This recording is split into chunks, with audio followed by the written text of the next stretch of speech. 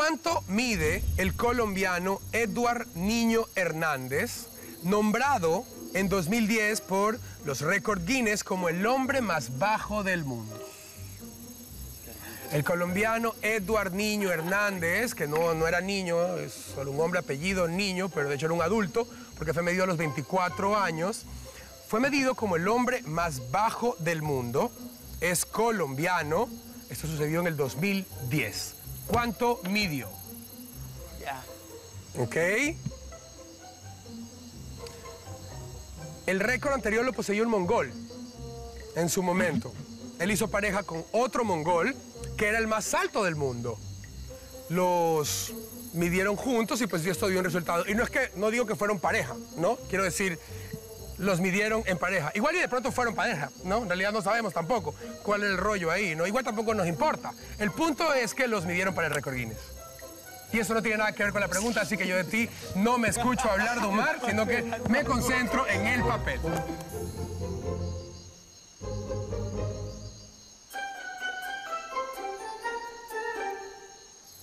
Muy bien. ¿Cómo vas? Tú ya estás, ¿verdad? Olmos ya está.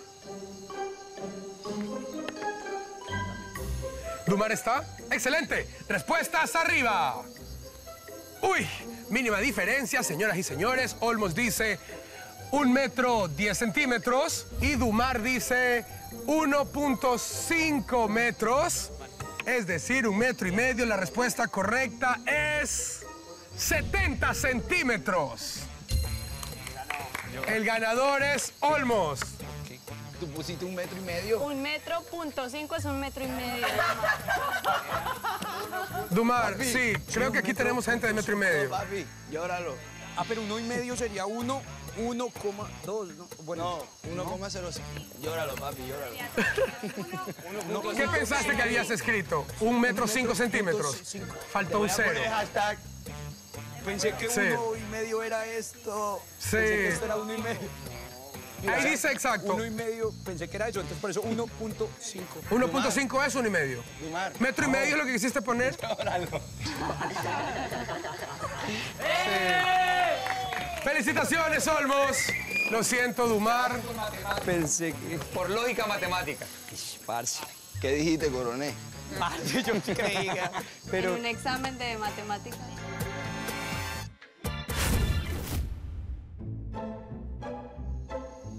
Gregoria, seguramente vas a querer haber estado en el podio en esta pregunta, pero aguantarse las ganas, así es la vida. Cuando Katherine Ibargüen ganó su medalla de oro en Río de Janeiro el 2016, ¿qué distancia saltó?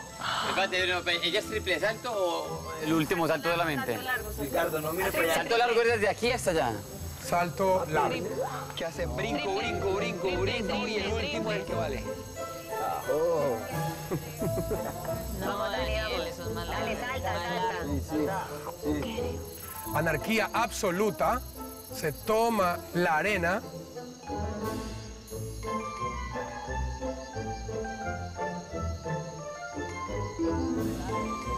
Robert, eh, ¿cu- ¿cuántos segundos van, Robert? ¿Cuántos segundos van? Como Demasiados. 40.